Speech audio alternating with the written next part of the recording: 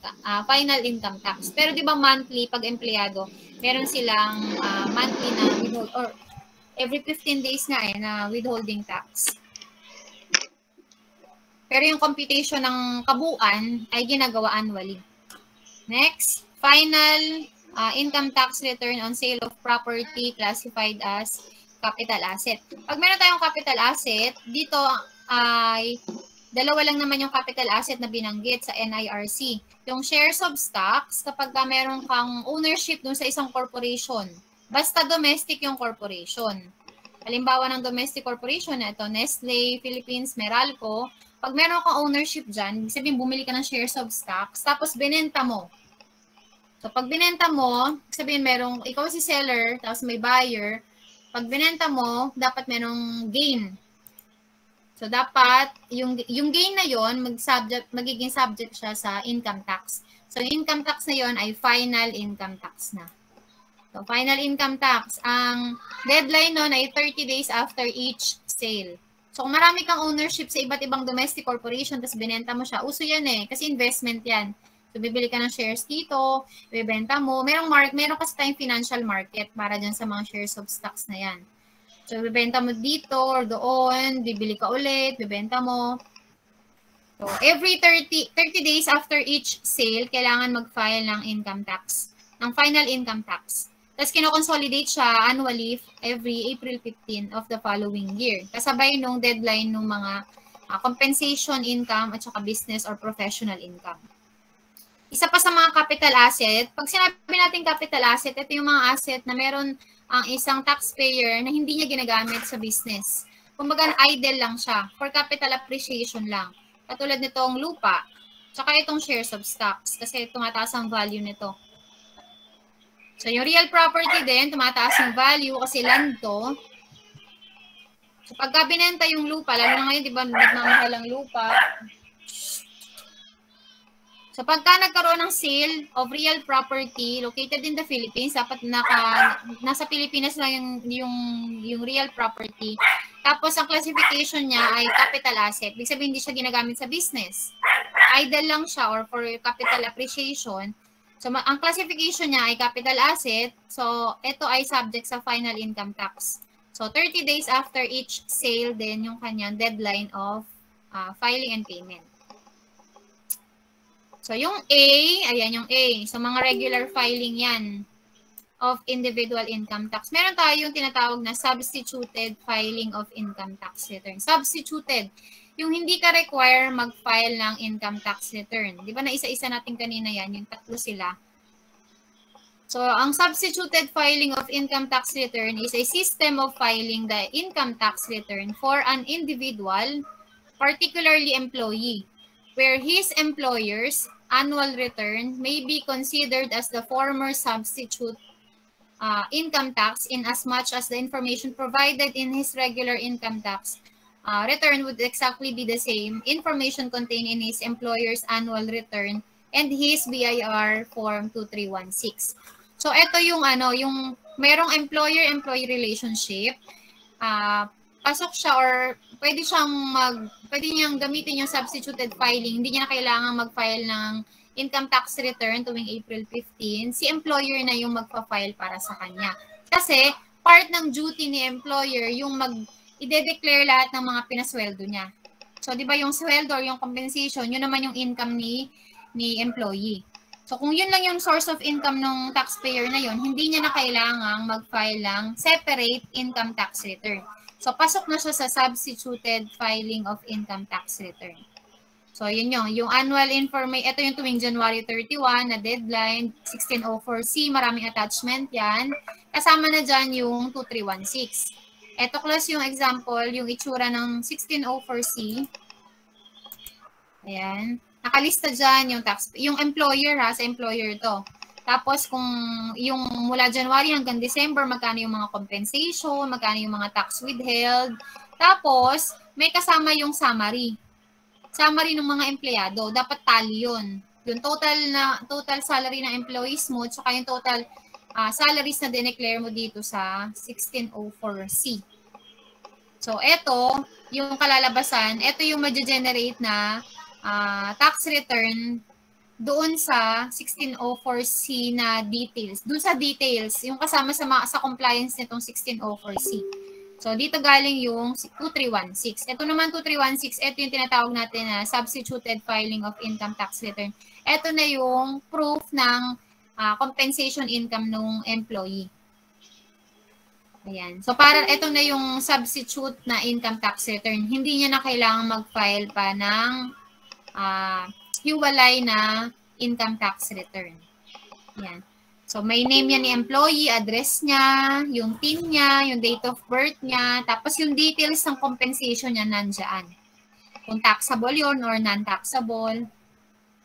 Okay, next.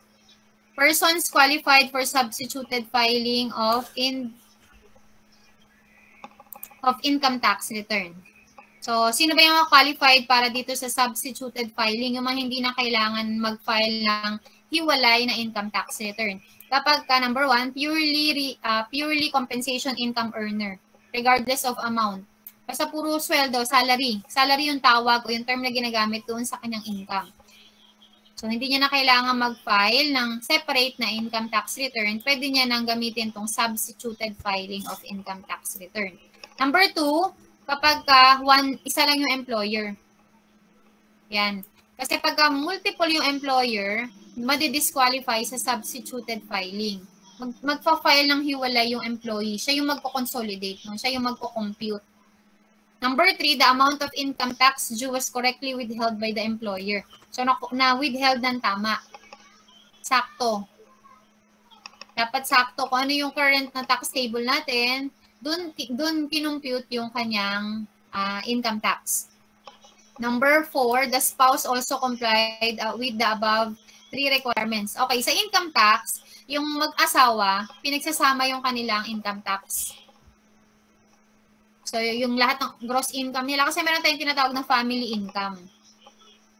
Kapag pasok ka sa ganong family income, pwedeng marginal yung family mo. So, doon tinitignan yon Kaya yung mag-asawa, pinag, uh, pinagsasama sa isang income tax return yung kanilang uh, kita, lahat ng kita, pati yung binayaran or babayaran na income tax. Pagsasamahin lang naman yon pero yung computation magkaiwalay pa din. Number five, the employer filed its annual information return. So, dapat uh, nag-comply yung employer nung employee na qualified sa substituted filing. Yan, kailangan kasi may 1604C.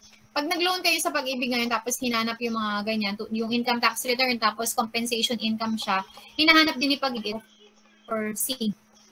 Yan, kasama yan. Next, number 6, dapat the employer issued copies of BIR Form 2316. Ito, itong, uh, itong 1604C, ang due date niyan tuwing January. Itong 2316, pinapasa rin sa BIR. Ang due date naman yan tuwing, kailan ba to? February. February, katapusan ng February. So may one month na ano grace period kasi binibigay yan sa mga empleyado, pinapa-review yan, tapos pinapapirmahan sa kanila. Tapos pag napirmahan na ng employee, ibig sabihin na na inatest nila na tama yung kanilang income tax return, tapos naka, may pirmahan, may may portion din doon kung saan pipirma for substituted filing. Tapos pag pumirma So, hindi na sila required mag-file ng hiwalay na income tax return. So, yung 2316 ay binibigyan ng kopya yung mga empleyado at pinapapirmahan sa kanila bago dalhin sa BIR for uh, stamping. Kasi kasama sa compliance ng employer yan. So, yan yung 6 na uh, qualifications para yung para maging valid yung substituted filing.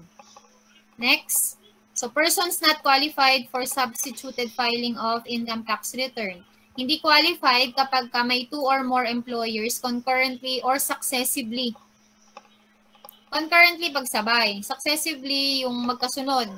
Kasi minsan, January to June, ito yung employer mo, tapos nag-resign ka. Tapos, uh, July to December, ito yung current employer mo. Minsan, yung current employer, hindi niya na na-consolidate yung income galing sa unang employer. So pagka ganon, hindi ka qualified for substituted filing kasi hindi na-consolidate ng current employer mo. Therefore, ikaw magpa-file ng separate income tax return na due tuwing April 15. Next, number two, the amount of income tax due was not correctly withheld by the employer. Ayan, pag mali yung compute, kulang, kulang, madala, madalas pag kulang or sobra. Pag kulang lang, madalas yan nangyayari. So, pagka kulang, not, not correctly, uh, ano siya, withheld, so hindi siya magiging, hindi siya qualified for substituted filing. Kailangan niya mag-file ng separate income tax return. Pag sobra kasi madali lang yung gawa ng paraan, nire-refund lang yun ng employer. Pero madalas pag ibig sabihin ng not correctly withheld, kulang yung naibawas. Number three, gross compensation income does not exceed 5,000 or the minimum wage, whichever is higher, and opted for non-withholding of the tax on said income. May compensation na kasi na below 5K or below minimum wage. So, tapos hindi siya nagpa-withheld, ng, hindi siya nagpabawas ng, ng income tax. So, hindi siya qualified for substituted filing. Number four, receive other non-business, non-professional, or non-trade income in addition to the compensation income. So, may, may ibang income. Kasi dapat purely compensation income lang para ma-qualify for substituted filing. Tapos, number five, spouse is not entitled to the substituted filing. Yan. Pag yung asawa niya, pag yung wife uh, qualified pero yung husband hindi, hindi siya hindi sila pare silang hindi pwede uh, ma-qualify sa substitute substituted filing. Kailangan kasi i-consolidate yung kanilang income tax. Number six, non-resident alien engaged in trade or business in the Philippines deriving purely compensation. Ang required lang kasi o yung allow lang ng NIRC natin yung mga uh, resident, mga Filipino. So, yung resident citizen, resident alien, non-resident citizen. Yan. So, pagka non-resident alien, tapos may ganun eh, yung foreign foreigner yung owner, tapos yung mga empleyado, foreigner din. Tapos minsan pa uwi-uwi lang. So, hindi sila qualified for substituted filing. Next, place and time for payment of in income taxes. Kasi pinapatupad yung pay as you file. So, yung place is at the place and time uh, tax return is filed. So, kung saan mo final, dun, sa, saan at kung kailan mo final, dun at dun mo din babayaran. Dun at kung kailan mo rin babayaran. Dapat sabay yung file and pay. Number two, installment payment of basic income tax. Inaalaw ng NIRC natin sa mga individual income tax payer na mag-installment payment. Provided na dapat yung complete tax due, yung babayaran sa BIR na tax ay exceeding 2,000. So pag, pagka 2,000 na above, pwede siyang ma-qualify for installment. So ang magiging hatian nito, two equal installment yung unang payment due ng April 15, ito yung deadline ng filing ng in, ng individual income tax. Ayan. So magbabayad ka ng kalahati diyan. Tapos yung kalahati pa ay due on or before October 15. Ayan.